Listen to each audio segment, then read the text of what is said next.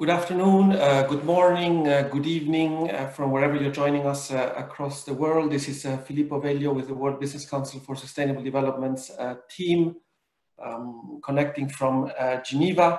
A very warm welcome to all of you on behalf of the team to this virtual event WBCSD is organizing today, the second of um, these sessions today focused on key trends and disruptions uh, for the decade uh, ahead. I hope you're all uh, healthy and safe uh, in the midst, uh, of course, of, of this crisis. And um, we hope that not only you are safe, but also, of course, your loved ones, uh, your colleagues, your partners from all across the world. today's session, as I mentioned, is focused on the key trends and disruptions for the period 2020 to 2030 we will be having uh, insights uh, from a number of uh, speakers uh, whom I will present in a little while. Uh, just to highlight, the host today is myself, uh, Filippo, Managing Director of the People Program and of the outreach functions in WBCSD, and it's my pleasure to walk you through the agenda and facilitate the discussions alongside the speakers this afternoon here Geneva time. Uh, today's session is part of a series of uh, virtual events that we are uh, running uh, across uh, the four months of April, May, June, and July of this year in response, of course, to the COVID-19 um, pandemic and, and the impossibility of organizing our traditional, first and foremost, our traditional delegates meeting in Montreux in Switzerland in the end of April, but also the impossibility of organizing other uh, sessions. Uh, we uh, highlight through this virtual event series two sessions per week as sort of um, featured sessions taking place each Monday and Wednesday of the coming several weeks. Uh, we have alongside those sessions a number of working group and sort of deeper dive sessions uh, led by individual program and project uh, teams across the WBCSD structure from all over the world. And we hope that these sessions can provide uh, you in the attendees uh, with uh, you know, interesting uh, facts, trends, uh, insights, expertise, but hopefully also uh, inspiration around what the WBCSD community is working on in terms of what it is sharing. And we of course look forward to any sort of feedback all along the way. And allow me to point you to the website that you see outlined here, uh, to get additional information is a freely accessible web uh, platform that gives you the full schedule and of course also the full information on past events including recordings and uh, slides. In my position as host is also my duty um, to um, highlight a number of uh, sort of housekeeping uh, issues as we call them in WBCSD. First uh, of all, the information for all of you that the session is being recorded uh, that uh, all of you in the participants list are uh, muted. And a kind request for all of you, except for our speakers today, to please switch the video function off. we all know that bandwidth is, you know, it should be all right uh, via Zoom, but you never know. And, and I think the, the less chances we take on that, the better. So if you could please take the video function off for bandwidth uh, purposes and for bandwidth purposes only. Thank you so much for that. Also to highlight that the slides that we are presenting today and the recording will be made available in the coming 24 uh, hours. We will consolidate the earlier session of today and, and this afternoon session uh, for you all who have uh, registered and it will also be made available on the uh, WBCSD events uh, website. Uh, last but not least, the idea that we would like to have, of course, your questions, your comments, your thoughts, and for that, uh, it's probably easiest to use the chat uh, function. So please um, pay attention to the chat function. Um, feel free to, to use it. And we will be uh, channeling the questions and I'll be looking at those in the course of the next hour or a little bit more than an hour that we have to go through this particular session on trends and disruptions. So thank you for taking note of those housekeeping items and thank you also for taking note of this particular housekeeping item, which concerns uh, all of uh, WBCSD's meetings with regard to antitrust uh, issues. The reminder that we have on this slide is to kindly invite you to take note uh, that any discussion and any conversation should refrain from addressing competitively sensitive uh, topics such as the ones outlined here, from pricing and cost issues to bid strategies to future capacity additions or reductions to customer discussions through any uh, output uh, decision. Thank you so much for considering this, uh, given uh, the nature of uh, the organization and this meeting. We are very grateful that you take note also of this particular issue. So today's agenda around these trends and disruptions, we have articulated it around three pillars. I'll give you a very short overview around WBCSD and the context of today's session, uh, given that the sessions are open uh, not only to members and partners of WBCSD, but also to outside uh, stakeholders. Uh, just a brief overview from my end for about three or four uh, minutes. And then I'll be handing over to our speakers of today, four of them to be precise, who will dive into these trends and disruptions and in particular, we will have uh, research insights from my colleague Julian Hill Landolt, and we'll have three member companies of WBCSD sharing their perspectives, uh, Nestle, Shell, and Novo uh, Nordisk. We will then uh, wrap up the session uh, upon completing those perspectives and answering your questions, and that will happen at the latest uh, 80 or so minutes from now. So this is the overall agenda that we have laid out uh, for all of you who are kindly uh, joining us uh, now. Allow me very briefly to go into an overview of WBCSD. WBCSD, World Business Council for Sustainable Development, a difficult acronym always to spell out, but the idea of an association regrouping at 200 uh, companies from about 20 industry sectors and 40 countries across the world, looking at headquarter location and, and looking at linking the sustainability agenda to business success uh, led by the belief that there is a space, there is an opportunity for business leadership to drive the transition to a more sustainable uh, world. And the articulation of that sustainable world is outlined, as you can see on the slide, around the world in which by mid-century we have nine plus billion people who are living well and within the uh, boundaries of uh, the planet. I very warmly welcome uh, on behalf of the team uh, our WBCSD members who could make it to this uh, session. As I said, 200 of them all across the world. We are very uh, happy and proud of them to be part of our network of companies. And thank you so much for taking the time away from your busy schedules to be with us. In particular, of course, to the speakers of our member companies who are sharing their insights today with us uh, around these trends and disruptions. Thank you also to the partners, the global network partners in particular, but of course also our institutional partners who could take the time uh, to join us uh, today. Again, very briefly, this is not going to be an institutional uh, presentation. This is actually the only slide that uh, presents what is WBCSD focusing on.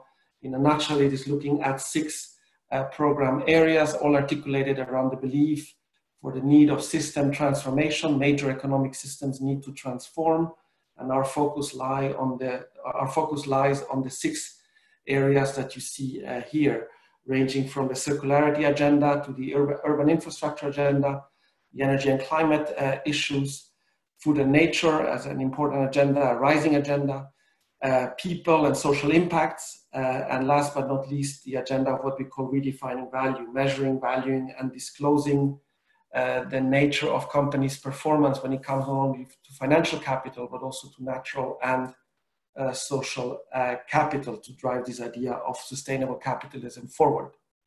So for those who are interested, you, uh, you are more than welcome to visit our website and find a lot more information on each particular uh, program and the underlying projects underneath them. The context of today's session is uh, what we call in WBCSD uh, Vision 2050. As I outlined uh, before, this idea that 9 billion people live well within the boundaries of the planet uh, by 2050. This is a concept that emerged a decade ago, uh, where we had 30 companies articulating the role of business in contributing to a more sustainable uh, future.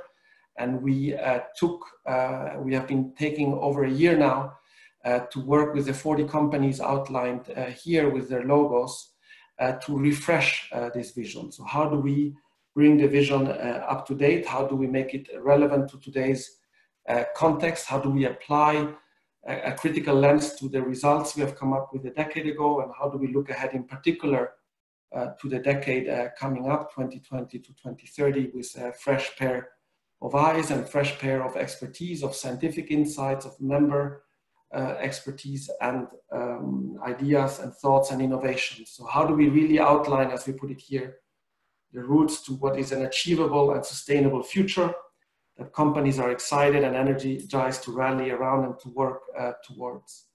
And importantly, of course, when we say 2030, is oftentimes linked, of course, to the Sustainable Development uh, Goals Agenda, the Agenda 2030. How do we make these SDGs directly uh, actionable for business? How can this piece of work contribute to making them more actionable for business uh, using this system uh, transformation uh, approach? Within the work of Vision 2050, it's basically divided in five uh, parts, and, and the 40 companies and the, the project team and our experts are working uh, on these five issues outlined here. Uh, firstly, the uh, concept of system transformation. How do we contribute uh, to making this uh, concept more understandable? How do we contribute insights and, and thinking and a narrative around it?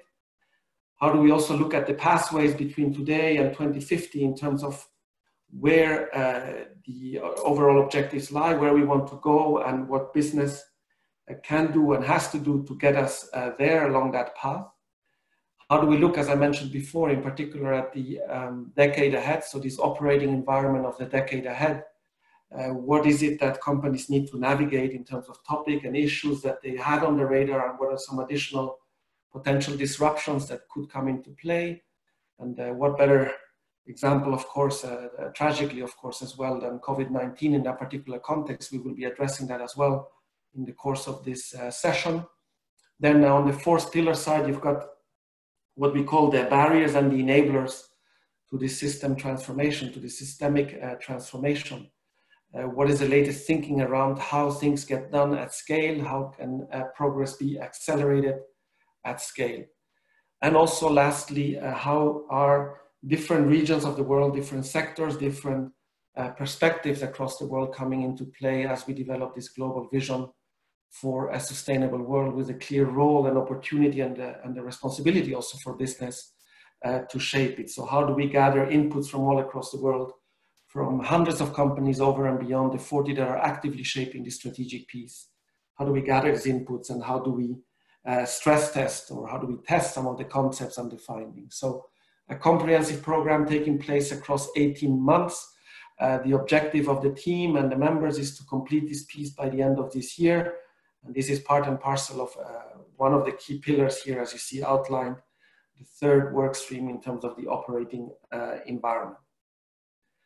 So with that, I have hopefully given you not too long an introduction and context to the, to the pieces that we are going to be addressing uh, now over the next uh, hour or so, the trends and disruptions 2020-2030, uh, where we will kick off uh, with our speakers our speakers. You see them outlined here on this uh, image. We will first and foremost have uh, Julian Hill Landolt, uh, my colleague, uh, also dialing in from Geneva, who is our uh, director for the Vision 2050 uh, Refresh project, as we call it. He will share the perspectives of what we have come up so far in terms of the insights of this particular piece, working with members and, and experts along the way. And then we will ask three of our member company representatives to provide comments on what they have heard and to provide their reflections on how they look at this kind of strategic thinking uh, from their own view and within their own company's uh, perspective. And for that, I very warmly welcome uh, Duncan Pollard, uh, Anne uh, Gadegaard, and uh, Dr. Cho On Khong from Shell, Novo Nordisk, and Nestle to this call. And thank you so much um, for taking your time and for sharing your thoughts later on uh, this afternoon uh, Geneva uh, time. So with that said, I would like to hand it over to Julian Hill Landolt, my colleague. Julian, I think your audio works. I will be clicking through the slides and basically pass over to you to uh, lead us through these trends and disruptions. Julian. Thanks very much, Filippo. You can go back to the, the slide you'd already gone forward to. Great. Yes, there we go. over to you. So, uh, let me uh, just give a little bit of context about the where this looking forward piece sits within um, the original Vision 2050 and also within our new piece first. So I hope many of you on the call are aware of the, the original Vision 2050 publication and this pathway that you see here, the, the the way that we chose to depict the must have transitions that needed to take place during a, a time period which we called the turbulent teens uh, in order for systemic change to successfully take place during the subsequent transformation time, which was the period that we envisaged from 2020 to 2050.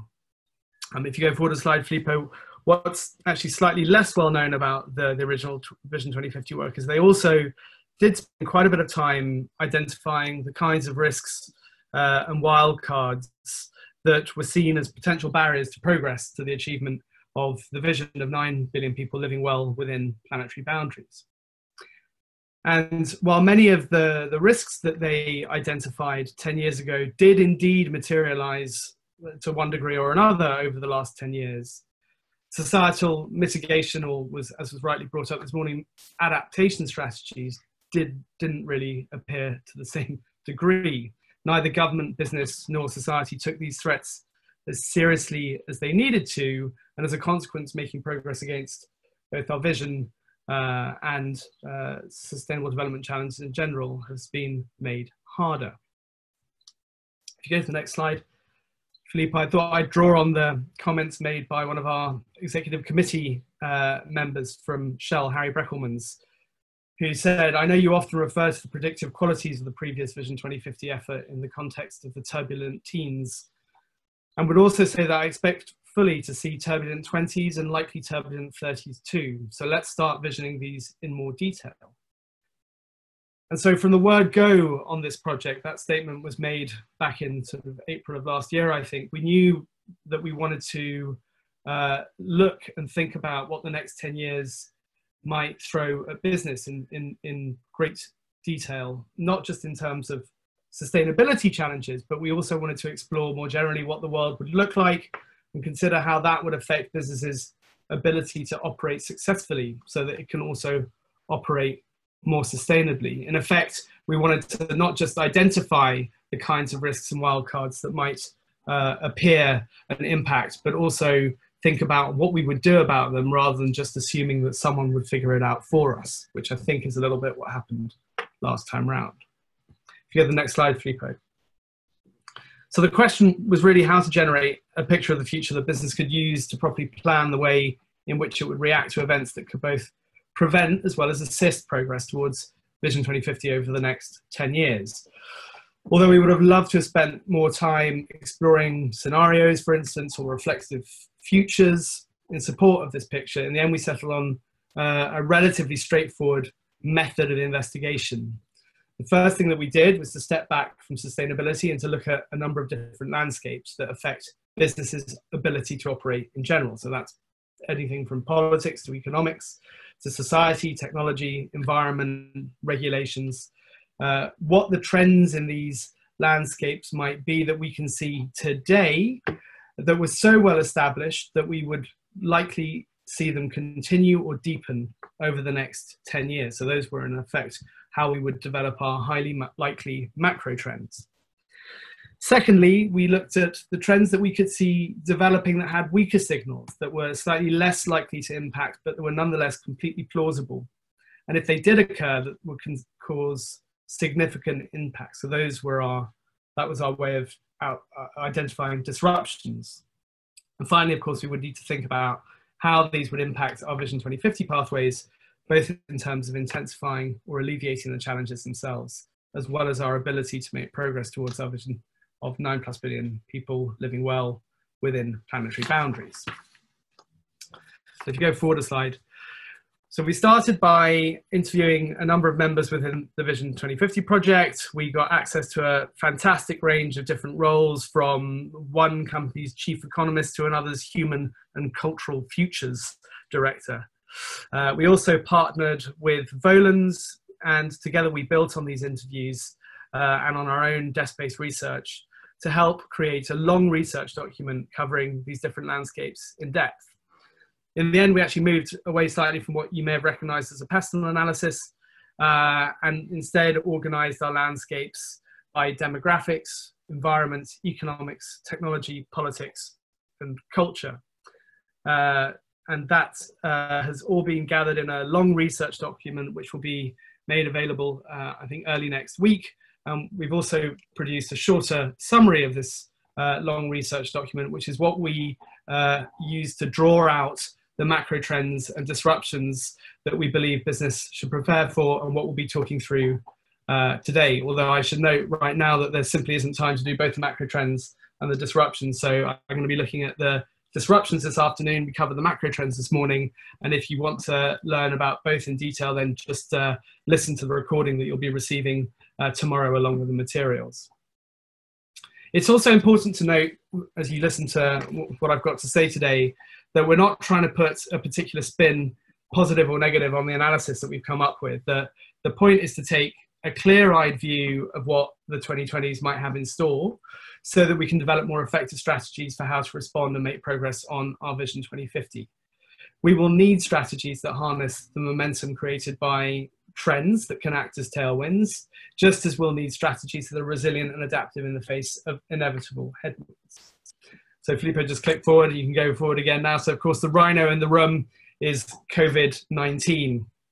Like most other forecasts of recent years, we had identified pandemic as something that would uh, that the world would be ill-equipped to deal with were it to occur. Not to mention something that was actually quite likely to occur, and yet we too find ourselves pretty much stunned by the arrival of the COVID-19 global public health crisis in the first few weeks of the decade. It's powerfully demonstrating profound, wide-ranging, and more often than not, long-lasting consequences that such disruptions can have. It's triggered multiple disruptive shocks and accelerated many of the macro trends that we've identified. So we did ask ourselves whether we could actually still release the summary as it is. Um, and despite the ongoing public health crisis and what looks likely to be the deepest economic contraction for, for centuries, we decided that these macro trends and disruptions remain valid. They've not suddenly gone away. They're structurally, they're still there. Um, so COVID-19 may serve to accelerate or intensify these macro trends and, and, and also some of the disruptions, but it's essential that we consider them at the same time as planning the response and eventual recovery from the current crisis. Just so you know, uh, you'll see at the bottom of the screen there uh, uh, an advert for a, a, subsequent session on Wednesday of this week on COVID-19. We are uh, issuing a separate issue brief that will look at COVID-19 um, in greater depth at the impl implications of the pandemic, both in terms of the trends and the disruptions laid out in this paper, but also more broadly with regard to the lessons learned from past recoveries and therefore how business can consider responding to this crisis. Um, and so on to the data. So I'll very quickly give an overview of the macro trends before moving in detail onto disruptions. Um, you'll see a picture of a of a big river. And I just use that as a, as a metaphor because its course is largely set for the next 10 years. If the river is heading where we want to see it heading, we can protect its course. If the river is heading towards riskier uh, land or it seems to be running out of steam, then we can act to protect its flow. And that's really how we should be thinking about the macro trends as well. They are largely baked into what is going to happen. If we go to the next slide, Filippo. Filippo, next slide. Sorry, wonderful. Um, uh, here you'll see the, the six categories I described, demographics, environment, economy, technology, politics, and culture. And in each, uh, in each category, two macro trends. Uh, and there's also some logic to the, the order in which we did our thinking here, which is that these things move from those which are most certain, for instance, demographics, uh, and, and population, those things that are essentially locked in, environmental impacts as well, uh, to those that are more fluid, such as politics and cultural shifts. Um, and so, as I said, I don't have time to go through all of them, but I'll very quickly uh, list the trends that we identified, uh, the macro trends that we identified in these categories. So, uh, in demographics, we looked at generational handover, this is the, the balance of power starting to shift away from boomers towards millennials and Gen Z. And we also looked at population growth in Asia and Africa and how it will grow faster there than anywhere else, contributing to the ongoing shift of geoeconomic power. Uh, everyone on this call will be keenly aware of the number of planetary boundaries human society is already in breach of. Uh, and if anything, our, uh, the current situation is revealing how our economic, social, political, and health systems all have high levels of interdependence on the environment. So, for instance, the increased risk pandemics arising from a combination of climate change, biodiversity, and deforestation. Uh, we also looked in detail at the, the way in which worsening climate impacts would be more frequent, more severe, uh, and therefore harder to ignore, but also how climate would, would be far from the, the only show in town over the next 10 years, uh, and how uh, the, the, more local um, uh, forms of environmental uh, challenge, such as pollution, land degradation, and scarcity, would both uh, raise awareness but also uh, suffering, instability, displacement, and hopefully uh, innovation as a result as well. On the economy, COVID 19 has obviously completely transformed the short term outlook, but the long term trajectory was already far from certain. Structural weaknesses were very high at the start of the year. Uh, for instance, underinvestment, high debt and inequality, slow productivity growth, stranded asset risks, all these things were already underlying uh, within the system and therefore a swift recovery from the, the, the impact of the COVID-19 shock seems highly unlikely. Um, we also looked in, uh, in the macro trends section on the economy at the, the peak of globalization and the rise of Asia. Uh, this is the this is the um, the decade in which the long talked about economic shift to the east will finally happen, perhaps even earlier than predicted. Uh, Asia's share of global GDP will push past 50% uh, and continue to rise.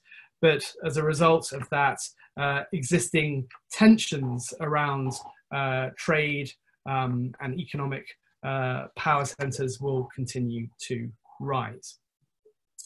Technology, another one of the trends that has been amplified by the current situation with COVID 19, uh, e commerce, remote working, online learning, telemedicine, all having a huge boost in the last few weeks for those luckily enough to, to benefit from, from these things.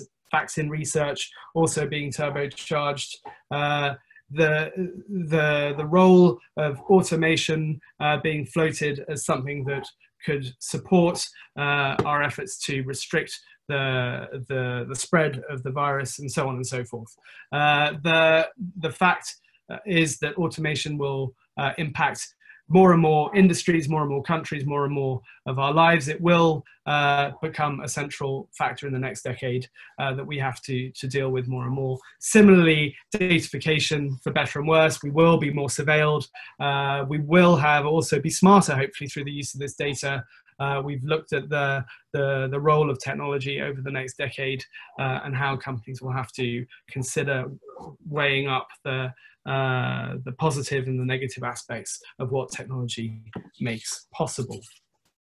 Uh, politics, uh, I'm just looking at the time. I, will move on a, little bit more rapidly, but essentially, polarization and radicalism have been on the rise for some time. High levels of dissatisfaction will uh, continue to create uh, the appetite on both the, the, the, the side of um, more populism and nationalism, but it also gives, uh, creates the, the ground required for radical alternatives on the more progressive side of things. And, and we see uh, signals of that uh, again being brought to the fore, uh, the conversation being brought to the foreground far more prominently uh, by people questioning how we respond to the COVID 19 uh, crisis. And finally, uh, continuing instability, sadly, a side effect of the number of uh, populists who have found their way into power of the recent years in recent years is a reduction uh, in the,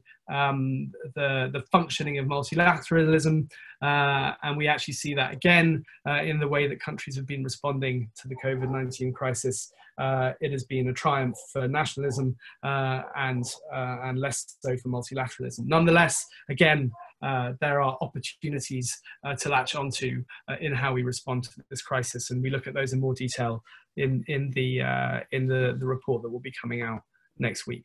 finally, culture, very quickly, uh, we see definite signs uh, of attitudes to ownership uh, changing uh, around the world uh, in a range of different countries at a range of different income levels. It's not neatly segmented rich versus poor or urban versus rural, so that's nice. Whereas cultural wars, uh, escalating is uh, more neatly segmented uh, in cultural clashes between, for instance, the young and old, or rural and urban, or rich and poor, not necessarily by any specific uh, topic. There are a range of issues on which uh, people are uh, not agreeing anymore. and polarization is sort of fueling people's ability to to move into ever more separated camps.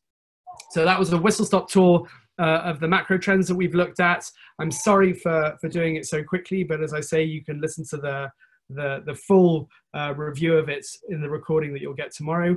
I will, I will say one uh, thing quickly to wrap up on this is that clearly uh, many of these macro trends are interlinked.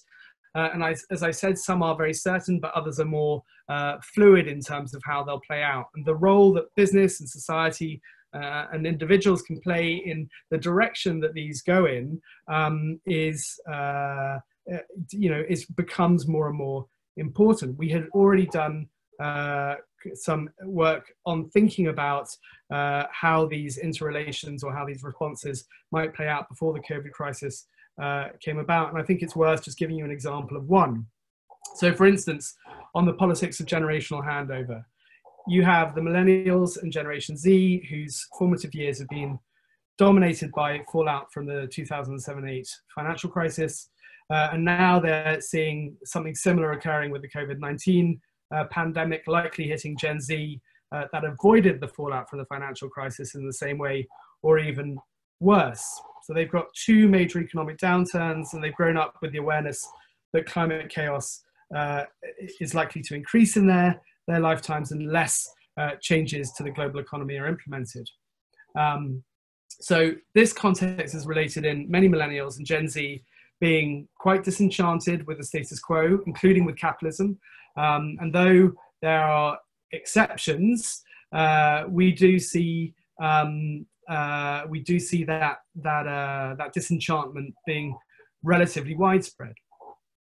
So while all generations tend to get more conservative with age, there's a good chance that this trend uh, will be uh, less pronounced amongst those currently under 40, precisely because they've been economically squeezed and know that on the current trajectories, they will live out their old age in a world where their pension pots aren't as big or where it's severely disrupted by climate change and biodiversity loss. And there are political consequences to that. that uh, so if the generational handover that we describe in, in the first demographic trend occurs, um, the, the way in which that plays out could be quite profound, but it's not certain how it will play out. And there are plausible scenarios, which include uh, millennials and Gen Z failing to register as a political force, um, or that they fall in line and just accept uh, the the world as it's currently going. You know, we can overgeneralize or be too Western in our view of this. There are places in the world where they're they're quite happy or they're not allowed to be unhappy. Um, there, someone on the call this morning raised the, the chance that millennials would simply be skipped in terms of political power. Uh, and that could give rise to uh, a, Gen Z that's mobilized in order to avoid being left behind in the same way that millennials are. Uh, and a number of other scenarios, which include uh, millennials and Gen Z becoming the electrical bedrock of effective progressive governments, which prior, prioritize issues like economic reform and addressing climate change.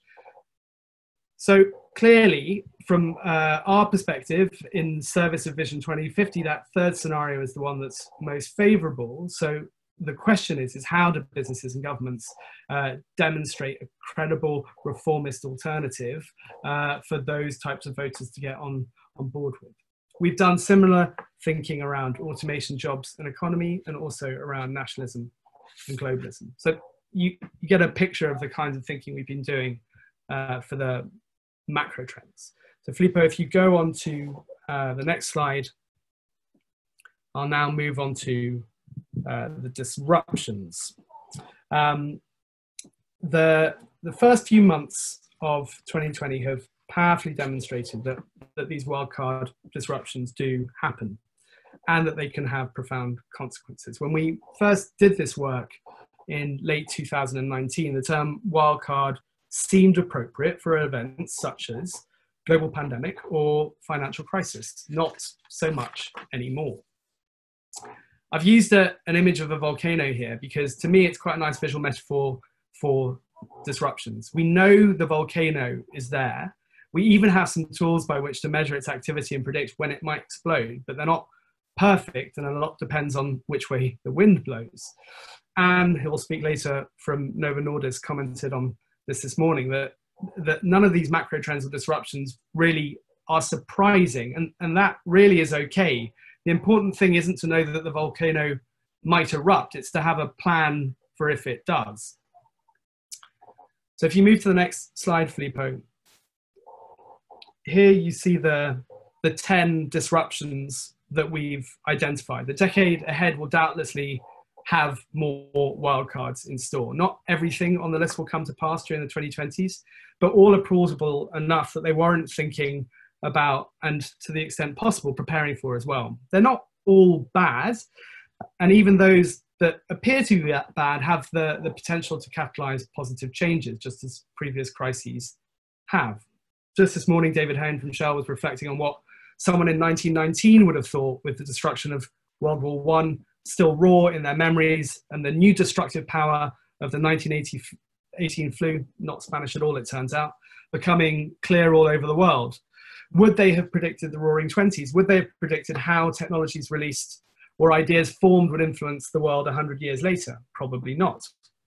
We must not waste a good crisis, as the saying goes. And interestingly, the origins of that saying are medical. The full quote is don't waste a crisis, your patients or your own. So there's something profound in, in that for all of us to ponder on a bit further in the coming weeks.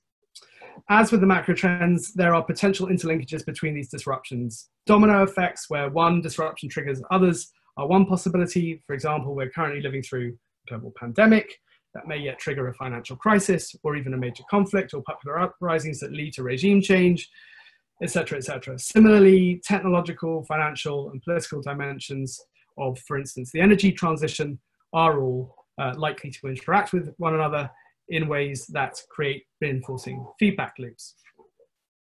Nonetheless, we've separated out 10, uh, crisis, uh, 10 wildcards uh, that we think are worth spending some more time thinking about. And I'll go through those in uh, as much time as Filippo will give me now because I'm going to overrun. I can tell, tell you that already. No rush, and uh, we'll take our time, and then we'll have members' reactions to it. Okay. And uh, by the way, I wanted to remind people on the call, to, uh, Julian, you can catch your breath a bit, uh, that uh, please use the the I was going to say the cash function, no, the chat function. Excuse me.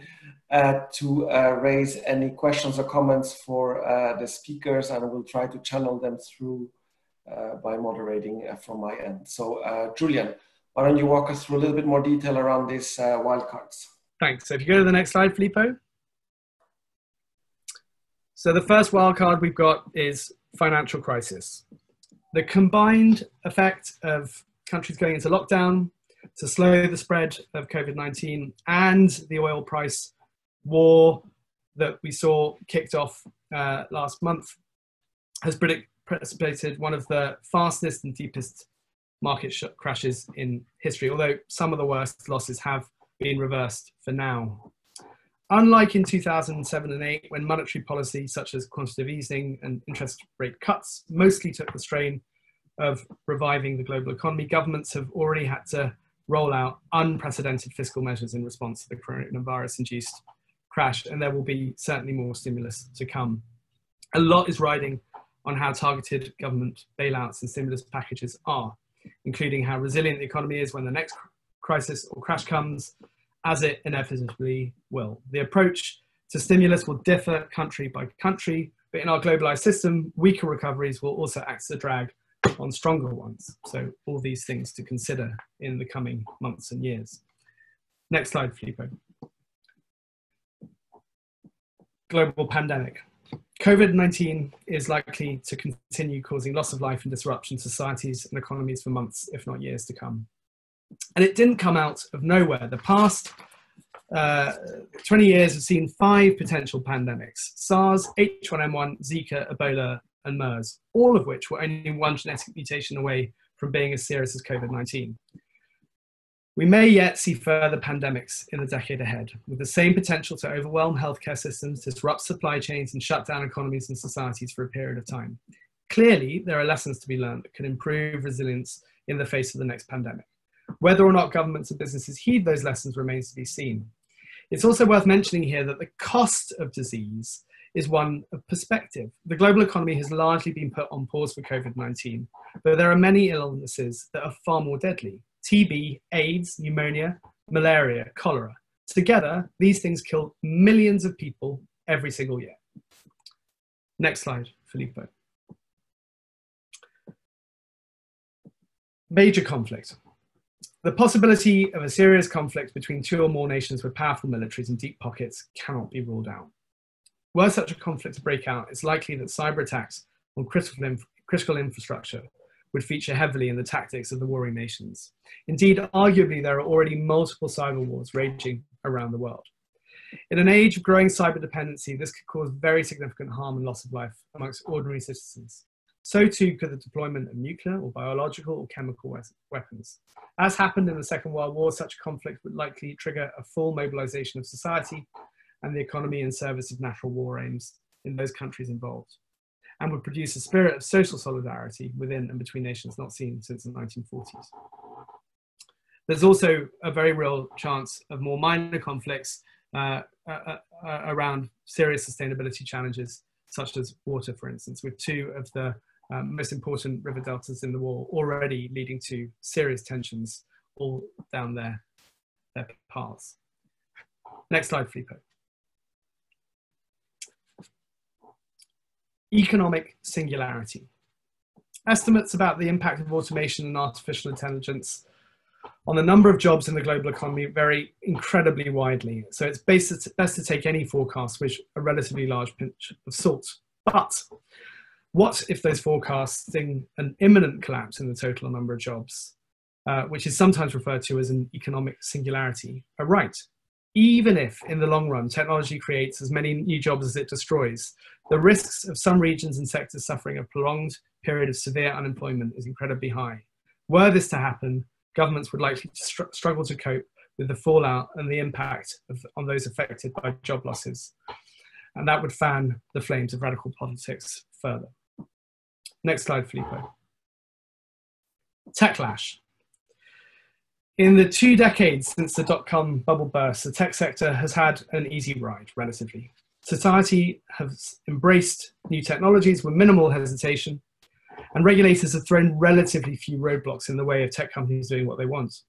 That may now be changing, although COVID 19 has distracted people from many societal challenges, very much including the underlying challenges that exist in society's use of digital technologies and the services that they make possible.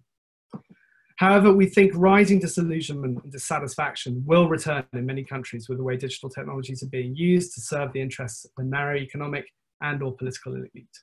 Consumers are more aware of the negative impacts of technology on health and well-being, and concerns about privacy and data ownership are on the rise, although governments are not always as concerned about privacy as their citizens are.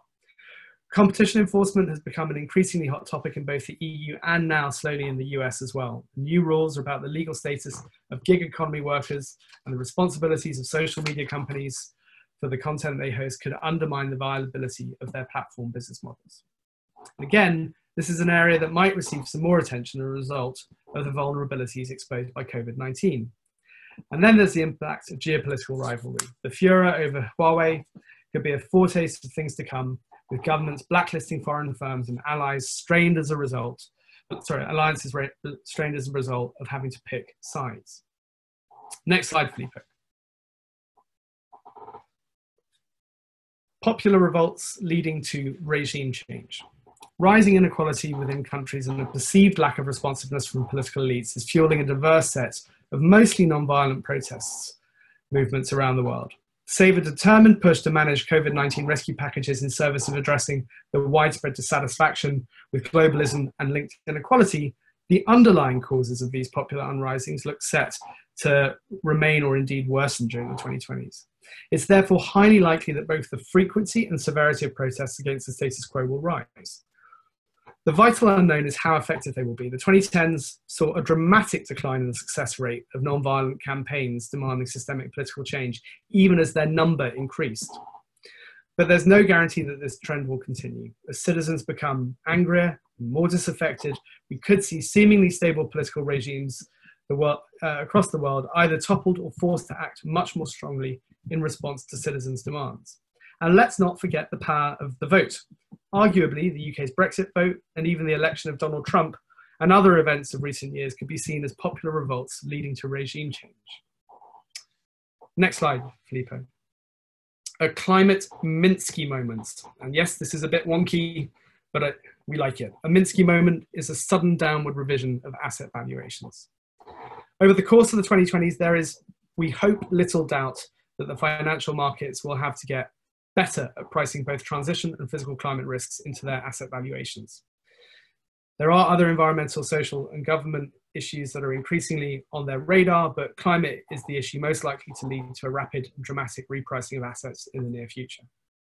There's a good chance that climate related financial disclosures will become mandatory at some stage in the first half of the decade, Technologies that enable greater transparency into asset level data are also developing fast. As the quality of information available improves and the potential losses to investors become both larger and more imminent, a major and potentially sudden reorientation of financial flows becomes increasingly likely. So that is what could trigger a so-called climate Minsky moment, a sudden downward revision of the asset valuations in carbon intensive sectors.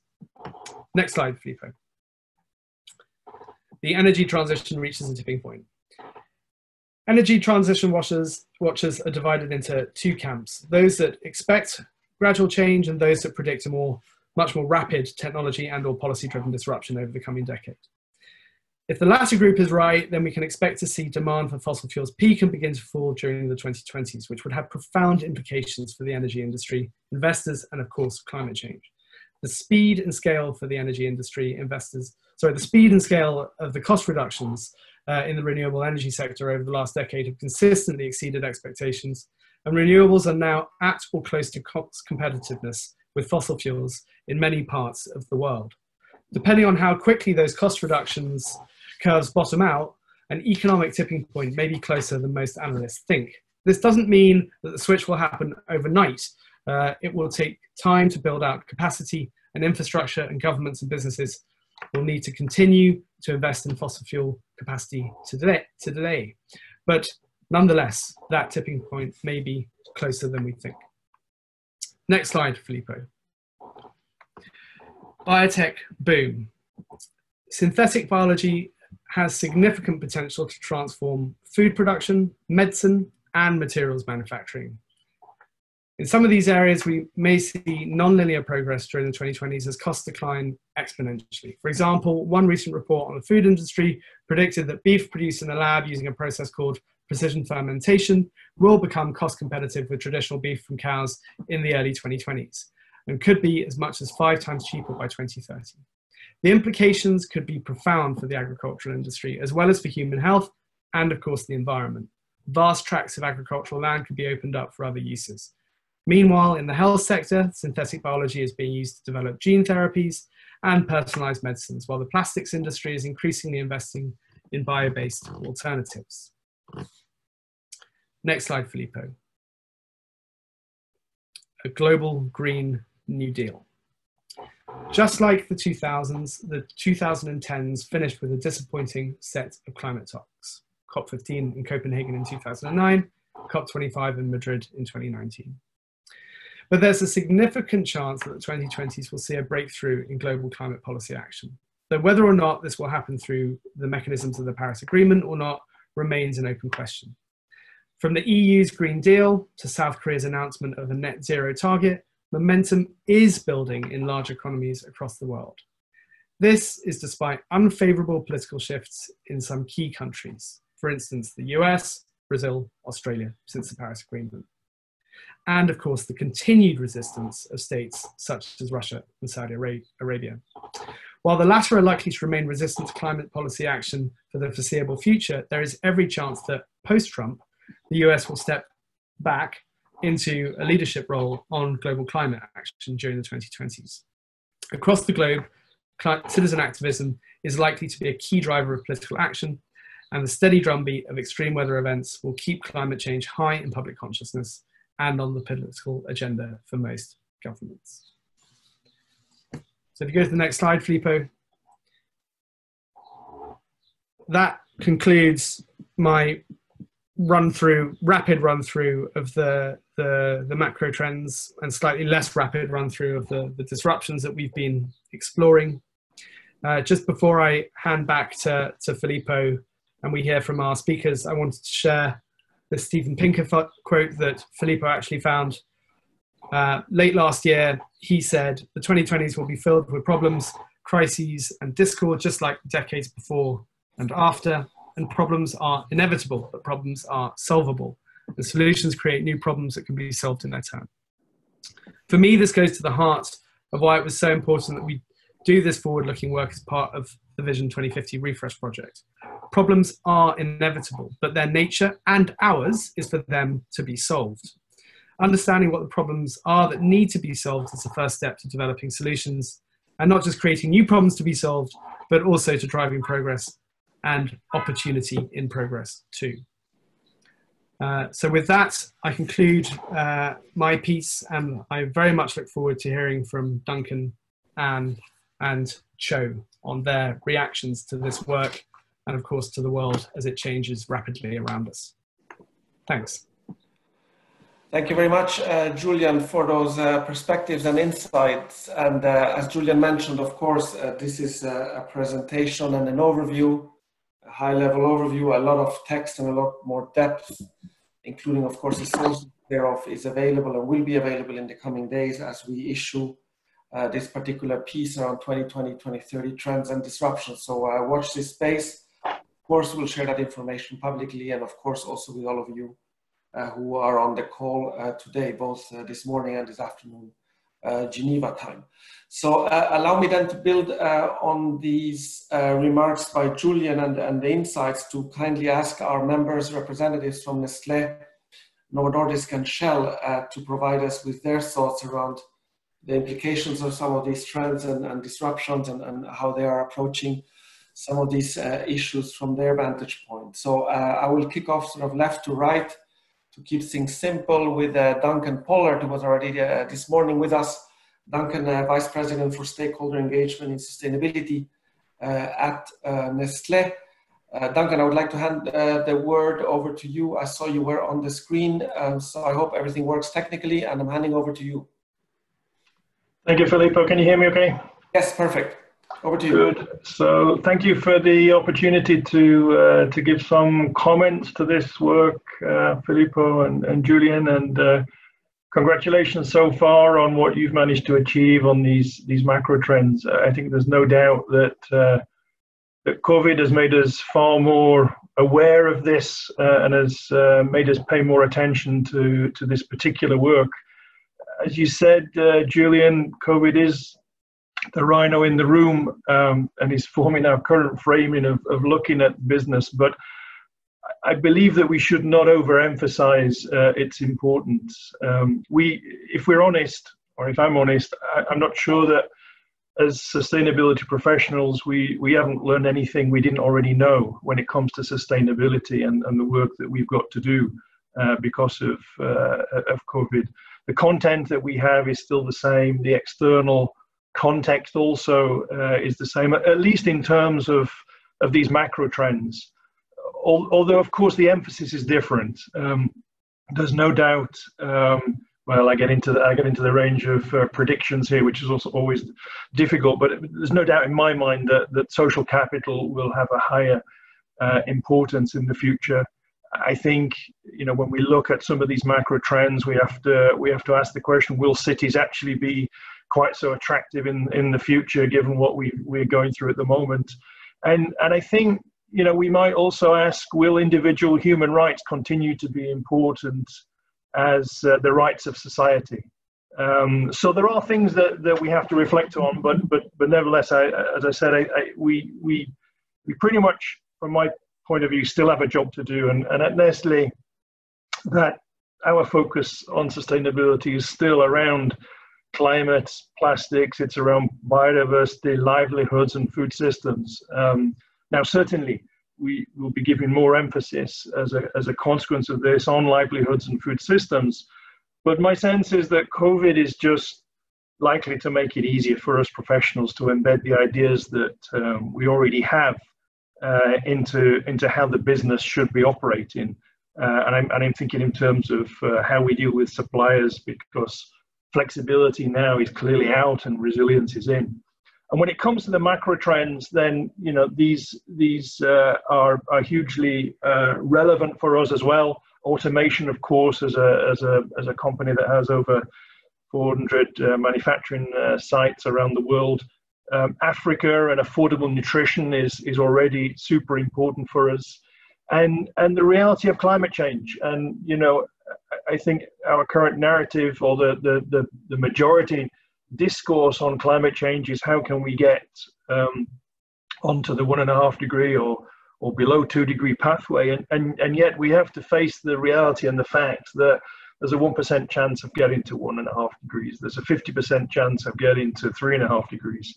And and therefore we have to be able to manage uh, to to both of those manage the business to both of those uh, potential outcomes so um, you know I maybe just a few comments um, on on what I think this means for for WBCSD, and certainly, I think that um, this work on on macro trends and uh, and wildcards has to fit in somehow with with the work on the capitalism of the future. I, I think that's central. Um, Fem, Femke Groothuis of uh, the Ex'tax project um, at a recent uh, event uh, I think summarized it very well. And it's, it's so it's not really about how much profit the, the companies make, but how that profit is made. Um, and, and I think keeping that in mind, it's a, it's, a, it's a very nice summary of the challenge that we have about the capitalism that we want uh, for the future. So if I look at the key trends and the disruptions, uh, former boss of mine, Jose Lopez, uh, always used to say that if you want to change things, especially in a complex system, you need to change the circumstances. There's no doubt, certainly, that uh, COVID has changed those circumstances. The question for us now is how do we translate this into our day to day work?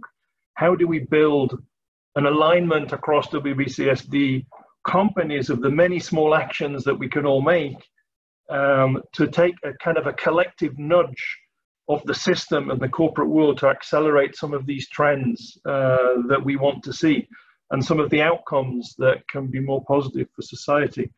I personally don't have the answer to that, but I but um, I, I think that for me, Vision 2050 needs to be able to focus on on providing some of the some of those answers to, to some of those questions. So thank you very much, uh, Filippo. I hand back to you.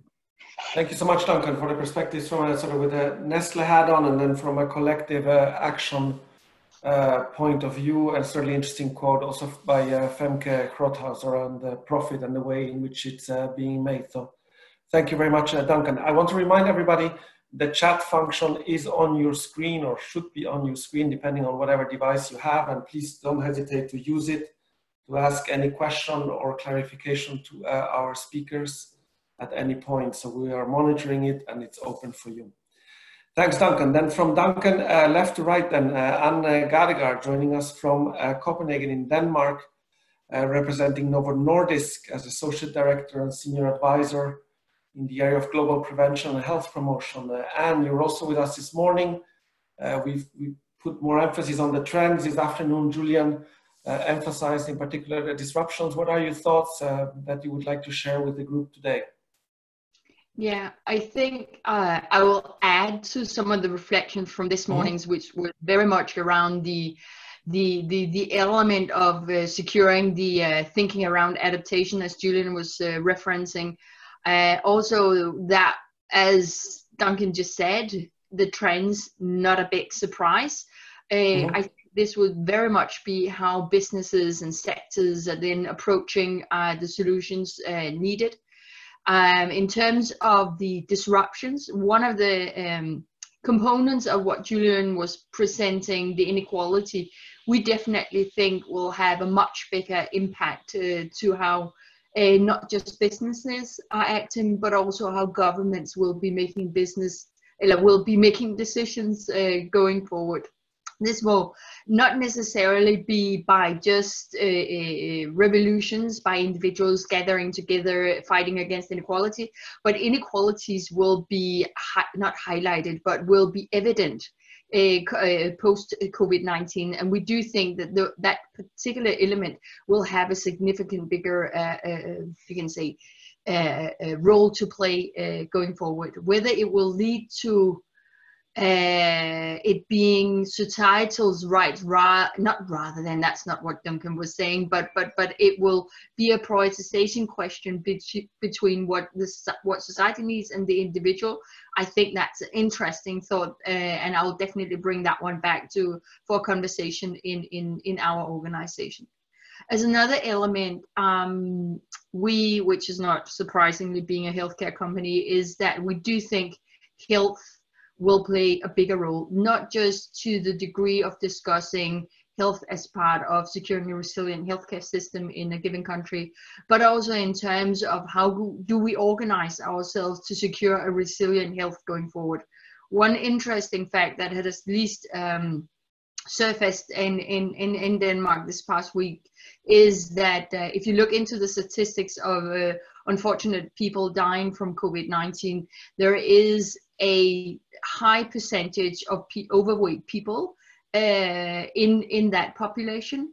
And i do think that part will potentially at least we think that that will potentially also inform maybe some of the solutions that we will be looking into going forward partnering on how do you secure a healthy population in terms of not just the health and the products uh, being pharmaceutical products but also in terms of how we organize ourselves how we're dealing with climate change, and and and finally how the whole food uh, element to it, not just the sustainability of value chains, agricultural value chains, but also what is the nutritional value.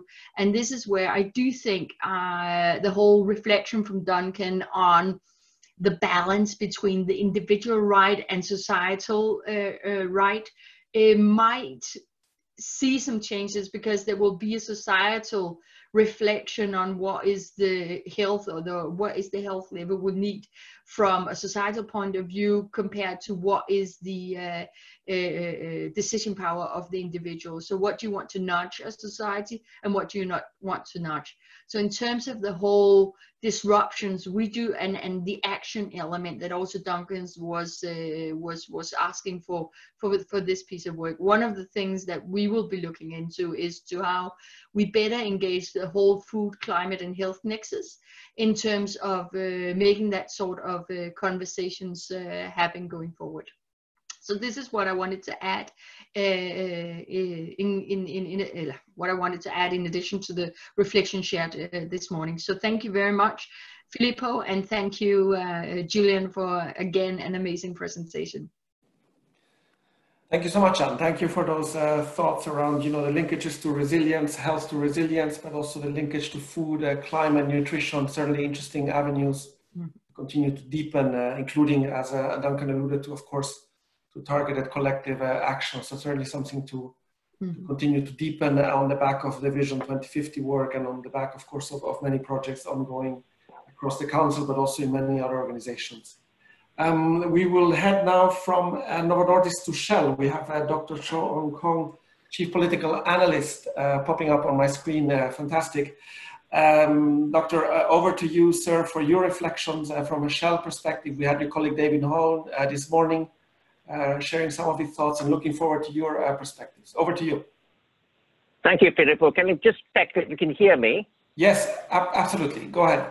Okay, very good. Um, so uh, one of the, uh, actually, one of the disadvantages of coming last is that uh, one sometimes feels that, that anything worth saying has already been said.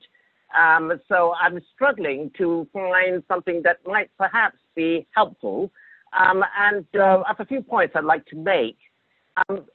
Firstly, uh, with the initial presentation by Julian, I was really struck by how comprehensive uh, the uh, macro trends and the wildcards were. I mean, there's a lot of material there. Um, and um, there are a few uh, areas where I think I would nudge the, uh, the, the, the, points made in one direction or another, but I think uh, all of us can be in broad agreement uh, with uh, what uh, with with Julian's slides. Um, what I would suggest is the following, though. given this this this great mass of material, I think it would help considerably, at least for me, uh, to try to, uh, in a way, prioritize that uh, that list and to try to just get a sense of how do we, how what what is the frame through which we view all this material. So, um, uh, uh, uh, and ultimately, of course, we are aiming at actions which can be put into place, which, uh, uh, uh, which are possible to take. in scenarios, we always have two key tests of the success of any scenario effort. One is, did you get it right? Not in the sense of did you predict the future, because no one can, but did the different outcomes that you've set out encompass what actually ensued? Uh, and we're pretty good at that, I have to say. I mean, if I look back on our track record, we've pointed to many things uh, that subsequently happened. The second test, however, which is the more difficult one, is uh, what the key decision makers do as a consequence of your getting it right. And that's a much higher target to aim for. We sometimes got it right, we sometimes haven't. So I think the test of this particular exercise would be what do companies do differently from what they might otherwise have done before? That's a test we apply, uh, we apply internally and that's a test I suggest that we bear in mind when we think about uh, the work that we're doing uh, uh, on this project. So that's the first point. Um, when I look at uh, the different points that have been made, uh, so for instance, Julian raised the issue of polarization and radicalism on the rise, and I think we all see that. But I ask myself, with the impact of COVID-19, is this beginning to change? uh, we see that the great mass of people everywhere uh, is paying greater attention to experts, uh, to people who know what they're talking about. And of course, don't forget that with populism, people are always saying, don't trust the experts, and they were being encouraged to that view. So all sorts of far right uh, or far left views were being promulgated, often without any uh, uh, connection with facts. and now I think increasingly people are turning to the experts, they're turning to their own governments. And this is not necessarily a bad thing because it's, it's very much seeking uh, a way forward out of the problems that they're facing. If we think about populism, and if we think about uh, political leaders who've been elected on populist platforms, some of them, I, uh, uh, uh I would say, are having uh, second thoughts about what they've said in the past, and they are changing their views as they're maturing, in other words. Um, others, uh, and I don't want to mention names, but you can see around you in different parts of the world, others are actually having their populist views challenged uh, by, uh, uh by, uh, by actually the great mass of people who are saying, well, I, actually, I hear what you're saying, but I'm not, I don't believe, I don't believe I can accept what you, I, I can't accept what you say. So uh, there's that aspect as well. I think with Duncan, um, again, you know, he mentioned urbanization, and this is possibly going to change uh, as a consequence of uh, uh COVID-19. And then, of course, a very important point, which is also uh, uh, uh echoed by Anne, which is individual versus collective rights. And that's a hugely important question. and is the balance between individual and collective rights going to change as a consequence of this pandemic that has hit all of us? And something that we did, actually, we started this work uh, more than a year ago, and we did it in connection with looking at energy transition and dealing with climate.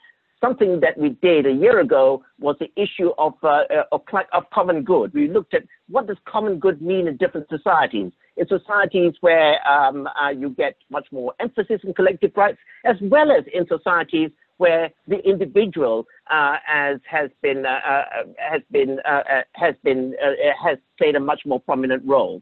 So there are differences uh, but there's always this issue at the back of every society of what binds it together. What's the common good in that society that it's trying to achieve?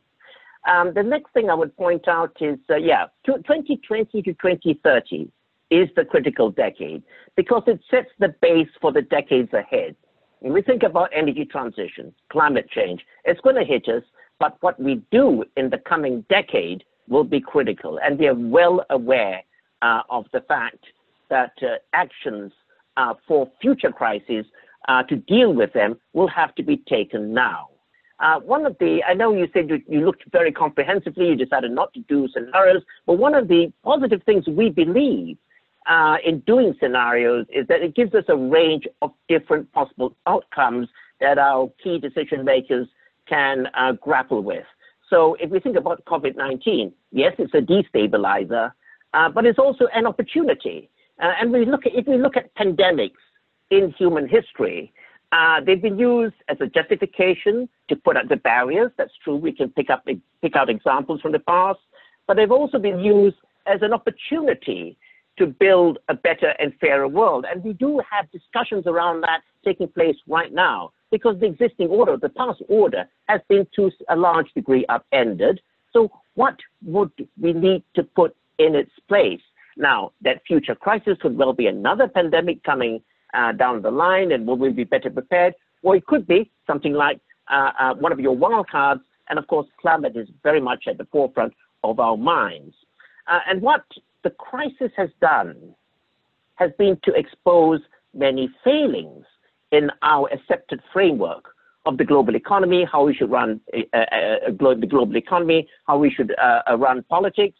But what the crisis has also done has been to underline the underlying strengths that we've had before. Uh, if you look at least some of the countries that have been coping with this challenge, uh, and think of the more effective ones, countries like South Korea, Taiwan, Germany, which stand out, what are the qualities that have enabled them to deal more effectively with the crisis? And we find, uh, and I don't want to say that other countries haven't as well. I mean, I think everyone is, I think, struggling to rise to the challenge. Uh, and I think we're all learning from the best examples.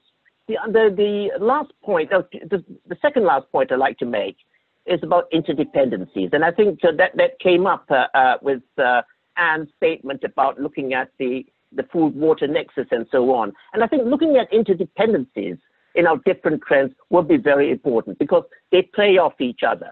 Uh, and so in energy terms, we've been very concerned about food and about access to water because that impacts directly on uh, uh, uh, energy extraction and energy use. And the last point I was going to make is that I, would like to come back here to actions that we can take as businesses. So what are the implications for business? And I think that's a very important uh, uh, uh, section to draw out in, in terms of you know how you're looking at this project. So, for instance, for us, certainly when we look at the uh, uh, what's what's happening right now around us, uh, how we use energy is critical going forward. So travel is hugely important, and so on. These are the obvious things. Uh, but there's lots I think that uh, your varied membership will be concerned about. Uh, we do know that I think the crisis hits small businesses and, and many individuals very hard. And so, what does it mean for them? What's the impact on them? And how do we actually overcome uh, as a common society, how we overcome uh, these difficulties. And of course, there's the whole uh, question that's coming to the surface now uh, of how we pay for all of this debt. Uh, uh, and rather than try to squeeze things even further, how do we turn this round so that it can be a positive force to build for a better future? So thank you so much, Filippo. Thank you so much, Dr. Khong. Uh, very much appreciate your thoughts uh, and your points about interdependencies. ultimately, also your point, how do we ultimately pay for all of this uh, in terms of transformation of uh, major economic systems? Uh, who's going to pay for what? And uh, how are some of these scenarios going to play out in um, discussion and in, in, in, um, in, in engagement with policymakers, among other things, from a business perspective side? Um, there are a few questions in the chat uh, function, and uh, I would like to pick one that can probably be applied to all of you, but I'll probably apply it to uh, Anne uh, first and then uh, Duncan. It's the question around uh, business schools and the role of education. At the end of the day, it's also of course, recruitment uh, within companies the size of yours is, of course, drawing a lot in recruits from business schools. And how can we make, as the question comes here from Dr. Diva Singhal from Goa in India, how can we make future managers aware of the choices they make and the sustainability consequences of those decisions? How can we inform uh, sort of um, curricula? How could you uh, influence it? Do you have any thoughts around this, in particular around the business school angle and the sustainability imperatives that are coming more and more to the fore? Uh, let's start with Anne. Well, uh, thank you, Julian, and thank you, Dr. Singhal, for the question. Uh, having uh, been around forever, I have to say, so I will definitely be in the uh, generation, not a baby boomer though, but but still, um, I think seeing the outcome coming from a business school myself, seeing the outcome of the transition business schools, at least in in, in the Nordics, have been through from where it was actually odd that we were looking into the wider social contract uh, of a business to society when I was there into having now masters, MBAs, uh, uh, a specific institute working on eller, eller guiding uh, students on sustainability in mm-hmm. business. Mm-hmm. Know that the struggle has been the integration into other uh, business, um, uh, what do we say, curriculum, curriculum. So mean, yeah. yeah. So it means that the uh, that the uh, uh, new, uh, not new, but the younger employees that we get fresh out of business schools, some of them are all engaged on sustainability because this has been their topic, but they wouldn't necessarily have the same level of business integration understanding that would be needed. And then the ones working in specific functions where that sort of sustainability reflection you would actually appreciate was there, don't necessarily have that as part of their curriculum. I know the Copenhagen Business School have have not completely succeeded, but at least they do have some cases on how this has been possible. And I think this leads then into the third question down from this one: How do you actually engage employees? Um, and and and and board members etc yeah. and i think it's it's such a difficult task and, and i think it comes a little bit back to the baby boomers and generation x millennials set whatever that we have a gap due to what context have you been exposed to, either as your education or who you hang out with in terms of your peers. So if you among your peers don't hear this conversation around what sustainability will mean to your business, the resilience of your business going forward, then it's a very tough uh, um, conversation to have. But we do start to see this context, at least not just from an educational point of view, but also from who are engaging within investors on saying we need resilience, we need long-term thinking, and we are getting uh, different types of signals that we traditionally have, at least in Novo Nordisk, from uh, the types of uh, business graduates or uh, past post business graduates who have now moved to a level in the organization where you wouldn't necessarily uh, expect that they had been exposed to this. So I think this question very much links into how do you also engage? And this is about then nudging how do they get exposed to this context, either, either as students or as matured business professionals uh, in the organizations. So that was my five cents, to uh, Filippo. Thank you for the five cents. Uh, Duncan, do you want to add your five cents to this? Uh, but this answer by Anne around the engagement in particular on business schools, the education system? Yeah, maybe maybe two reflections. Uh-huh. Um, I, I I think that uh, business schools will always struggle um, to fully embed or embrace sustainability for two reasons.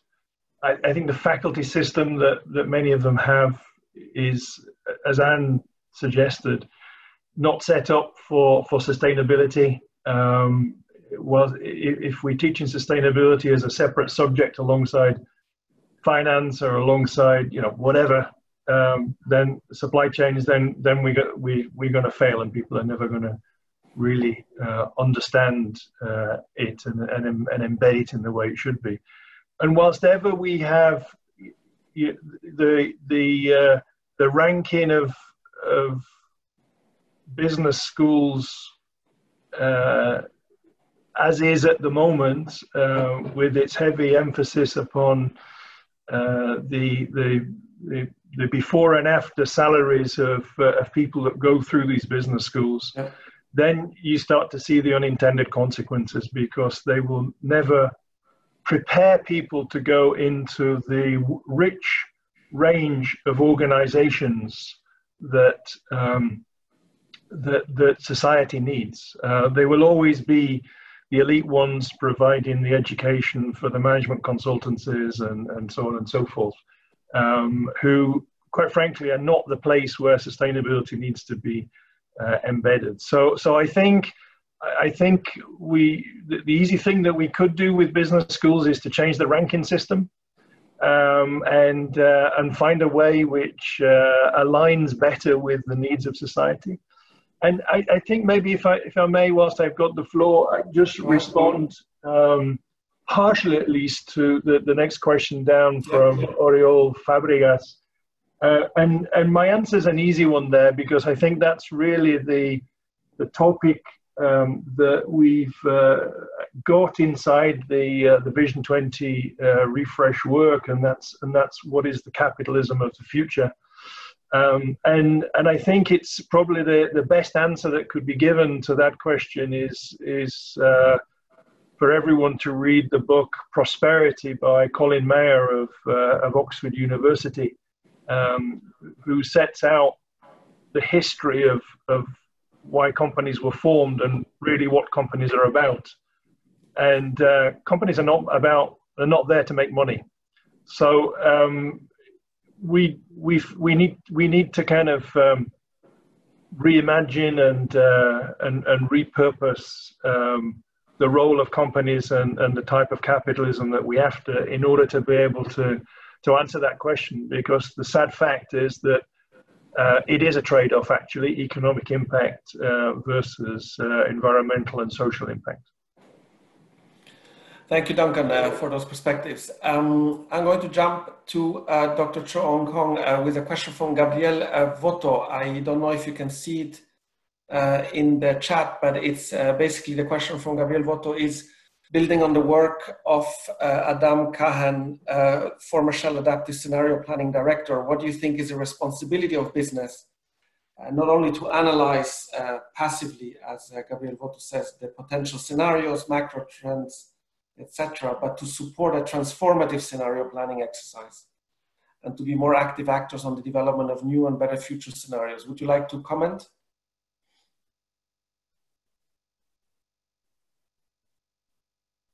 I think you are on mute. And if you're not, you have to unmute yourself. How's it going? Yeah. Okay, fine. Thank you. So just uh, a couple of points, if I may. Um, one is, well, Adam Kahane, I have to say, uh, full disclosure, is a good friend. Um, uh, and what I would say about scenarios is that they hold up a mirror uh, as to what could possibly happen. Uh, but uh, I think if you, it comes back to the two tests that I set out earlier. If you hold up that mirror and you say, well, I'm not going to do anything about it now, then I think the exercise has failed. Uh, but you need to hold up that mirror in order for the key decision makers themselves uh, to be passionate and to be active about doing something about that future. So uh, uh, uh, uh the, the, the, the, the scenario planning exercise needs to be transformative about, about where the organization you're part of makes for a better future. And, and since I'm here online now, could I just respond a little bit to Duncan? I do, I do agree very much uh, with uh, uh, what he said about business school, but uh, Colin Mayer is certainly another uh, a friend of ours. and I do believe he comes from the Saïd Business School in Oxford. So I think business schools themselves are actually questioning their purpose these days and beginning to change. Uh, that change may be slow in coming, but uh, you, you can feel the winds of change are beginning to blow. Okay, I'm done, Filippo. Thank you, thank you, thank you so much also for jumping on the opportunity to comment on on each other's uh, perspectives. Uh, Julian, uh, we're slowly wrapping up, but I, I, wanted to give you also the chance to reflect on, on how some of these questions and comments reflect on the wider ambition of WBCSD around um, refreshing this Vision 2050. If you could maybe give us two minutes of closing thoughts, and then I'll wrap up with a, a few sort of household um, housekeeping items again. Julian, over to you. Thanks, Filippo. Um, so I, I, I think the the you know what we've tried to cover here is um, a view of what the ten, next ten years might hold for all of us. Uh, as I said, this is, or as Filippo said at the beginning, this is just one part of a, of a much larger project. Duncan has referred to uh, some work we're doing looking at the role of stakeholder capitalism within uh, the Vision 2050 work. Uh, there, there is an awful lot going on within it to try and at the end bring all of these different pieces back together and uh, in effect answer what Dr. Khong was asking for, which is to uh, present this information to decision makers in a way that makes them do something differently. Our, um, our so our aim with the with the vision work is to identify the, the key transitions that need to take place, the actions that business will need to take within those transitions, uh, the the way in which the trends and potential disruptions of the 10 years that will follow may affect the, uh, the business's ability to take those actions um, and then what the levers are that business has available to it to um, uh, to unlock change at a rate and scale that is appropriate for the the challenges that we that we face. Um, and so, whilst I can't give the answer to some of the questions uh, that have been asked in the chat, uh, nor uh, immediately provide Dr. Khong with a prioritized list of which uh, trends and disruptions are most important for business to take into account. What I can say is that our aim here is to get to a point where we have a prioritized list uh, of actions for business to take, where we understand what the uh, the impacts, uh, the, the the way in which the world is unfolding uh, will be that will that will either help or hinder businesses' ability to take those actions, and where we have correctly considered uh, as comprehensively as possible what role business needs to be playing in uh, in a society that allows these transformations to happen, uh, the way in which it is making its profit um, in in the years to come is also uh, sitting underneath all of that as, a foundation to the recommendations that we make. So that's the the aim of the of the vision project in total. This is just one aspect of it, uh, but that is being um, given far more prominence than it would have been uh, even a month ago as a result of everyone now actually being interested in in what unexpected things or per, per, per, perceived to be unexpected things could happen uh, down the line. Thanks, Filippo. Thanks, Julian, and thank you to all our speakers for, for their perspectives and for their uh, generous time and, and, and, insights, of course. Uh, we are almost at the uh, half past the hour, so it's my duty also to keep this thing on track and basically uh, wrap up with a few housekeeping items. Housekeeping items in the form of letting you know that uh, we will have uh, the recordings and the slides of today's sessions. Uh, I say sessions because we had, as I said, uh, one earlier in the day, uh, Geneva time, and now one in the afternoon. They will all be made available to you by direct uh, mail, so uh, watch your inbox for uh, that piece of information alongside a few key takeaways that we will compile over the next few hours. watch this space also for a so-called issue brief, so this short condensation of research being available to all of you being publicly available around this 2020-2030 operating uh, landscape. That will be uh, next week. Uh, we are working on a few tweaks, uh, but it will be made public, uh, uh, publicly available next week. And to jump on Julian's point above, um, just beforehand, a few minutes ago about Vision 2050, for those who are not yet familiar with it, you are more than welcome to visit the link that we give you here to find out more and to find additional pieces of insights that we are developing alongside the plan, the overall plan, so that you know where we are coming from also with the perspectives that we shared uh, today. Um, I also want to call attention to the session, the next featured session that takes place within this event series, which focuses, uh, which really zooms in uh, on this uh, coronavirus uh, pandemic, on this significant uh, impacts, the significant impacts it is having and what it means for the decade ahead. Uh, happy to report that a number of members alongside Julian and uh, Volans have uh, taken a deeper look at it. There's a thought piece, an issue brief that is being developed, and we will be sharing the highlights, the key takeaways in a, in, in, the, in a similar virtual uh, meeting context next Wednesday, again in the similar format at 10 a.m. CET or at 4 p.m. CET, depending on your uh, agenda and availabilities, of course, and, and we appreciate any uh, participation from your end live, but of course also watch the space uh, to register, but also watch the space on the events website of WBCSD if you want to access the recording and or the slides uh, later uh, on. So with that said, a big thank you, a big thank you to uh, all of you for attending today. An enormous thank again to our member representatives of Shell, of Novo Nordisk, and of Nestle Thank you so much for your time.